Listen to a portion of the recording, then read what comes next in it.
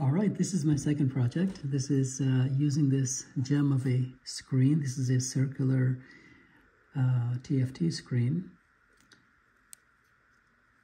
See, 1.28 inches, and it's a 240 by 240 pixel screen. The controller is the GC9A01, and it is controlled with an SPI bus.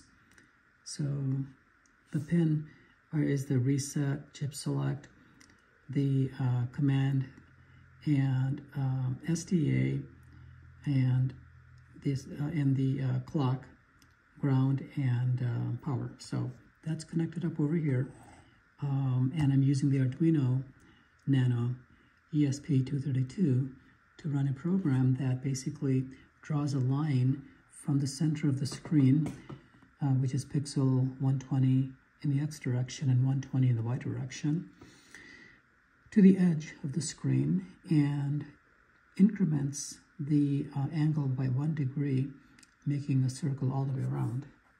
And the way the animation works is that the previous line that it draws um, is deleted by drawing it in, this, in the background color, which is black. And so then there's a new, a new line drawn at a new angle, and that looks like a animation when it's moving. So let me show you how the uh, programming works with this. All right, so this is a sketch that uh, I made. Uses the SPI header, the Adafruit GFX, and the Adafruit um, GC9A01A header uh, file.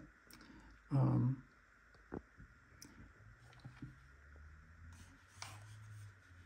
These are the pins that I connected, the chip select reset and the uh, DC pin. These are the pin numbers. And basically I have a couple functions that I wrote that return the um, x2 or point x2 uh, if I provide the um, starting point and the radius and the angle in degrees and I use trigonometry functions to calculate the um, x2 and also the y2. So here we are basically creating the um, screen object using the Adafruit GC90 or the 9A01A library. And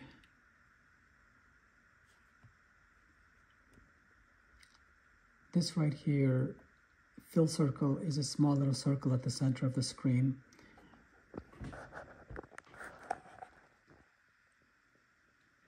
That circle right in the center.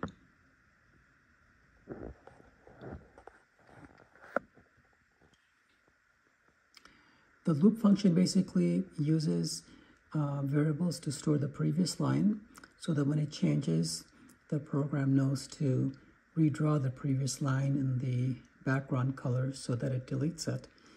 And then I set up a loop to go from zero all the way to 360 degrees.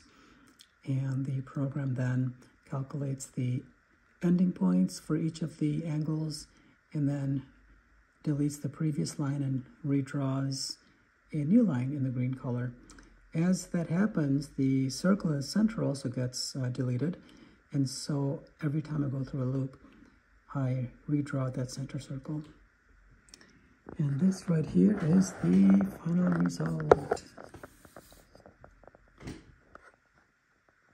That is pretty cool. Love it. This has been so fun.